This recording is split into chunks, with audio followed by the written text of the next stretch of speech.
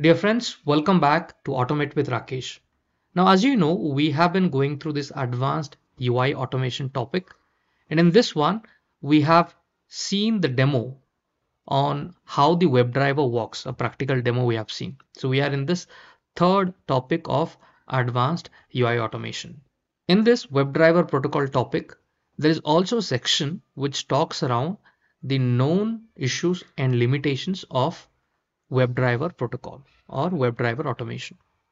So what I have done, there are multiple paragraphs. If you see for visual automation, there are few paragraphs and for headless automation, there are few limitations written in the paragraph. What I have done to make it easy, I have created two simple tables one having limitations of visual automation, the other one having limitation of headless automation. Now making note of this might help you in your exam. Now I am going to discuss each of this point one by one. Let's start with the very first one, which is visual automation. Using WebDriver, we can do two kinds of automation we have seen in our previous video. Now let's understand what are the limitations the very first limitations is avoid iframes. Now to understand what is an iframe, you can Google that out. Now iframe is, if, if I read this for you, an iframe is an HTML tag that shows a web page within a current web page. Now this I have demonstrated in my UiPath apps videos, right? How you can use a iframe control to have a page within another page. How can you show a web page within inside another page right inside the main page how can you show one more web page so that is known as iframe now i'm going to explain it here. Selectors for ui elements inside iframes are not validated. If you are using webdriver they are not validated. So one important one point if you remember iframe that would help you to recall. It is recommended to avoid iframes when you build your automation project. This occurs when elements identification is done by browser extension and selectors validation is done by the WebDriver protocol. So this is one of the point. So this point you might have understood to avoid iframes while going for WebDriver. The second point always creates a new browser session. When you are using WebDriver, it will always create a new browser session. Saved cookies and saved browser data are not taken into consideration. If it is using cookies, then you might see some problem during your automation. This is pretty well explained in the second bullet point. A browser automation created with the WebDriver protocol always creates a new browser session. Important point. This means that saved cookies and saved browser data are not taken into consideration. Important point when you build your automation project. Okay. Now let's look at the third point. The third point is selector is not found for a browser with multiple tabs open. So what it says, if a selector is not found for a browser with multiple tabs, if you have kept multiple tabs open, let's say rpachallenge.com, you have opened that in multiple tabs in your browser. The execution constantly switches between them. So there will be some kind of problem you might face constantly switches between different tabs to see which one is the right one. In this scenario, it is recommended to create your automation project on a single browser tab. So these are a couple of limitations of a WebDriver when you go for a visual automation. While we have covered all these points, let's cover headless automation.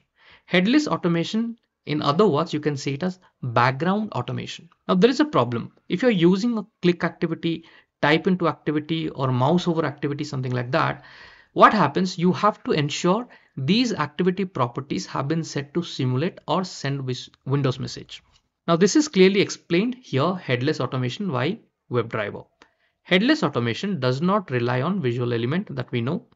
As such the webdriver protocol doesn't actually open a visual browser window.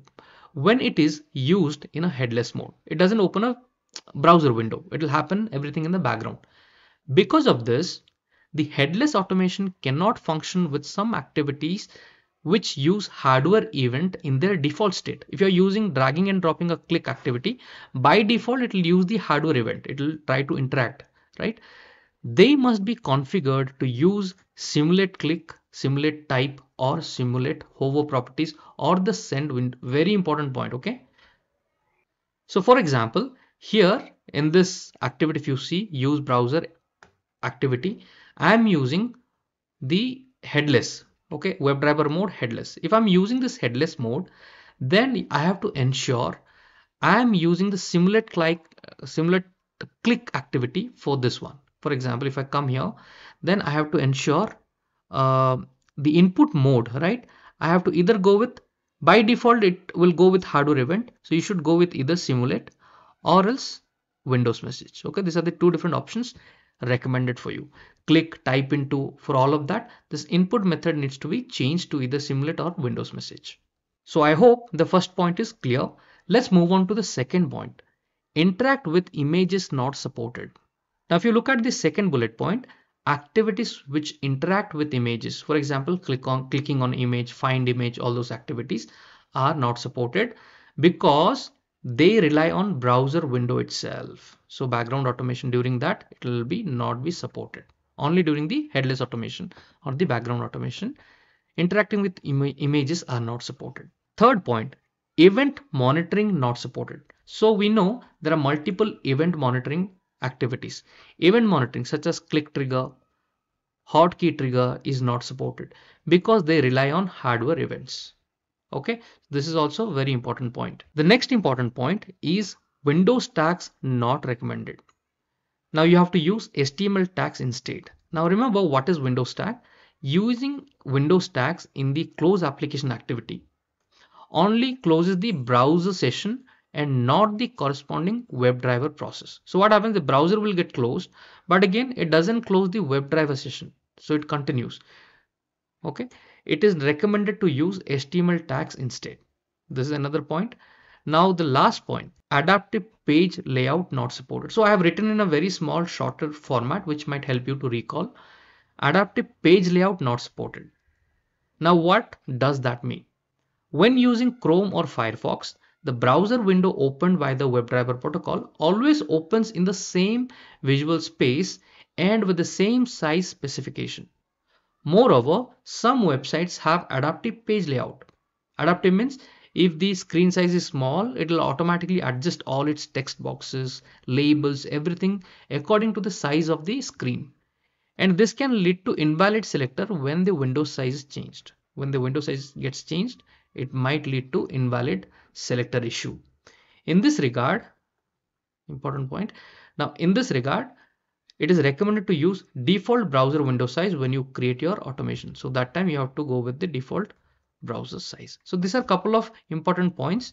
I hope if you make a note of these points before your exam, you know, it might help you to recall and will be able to select the right answer for the question.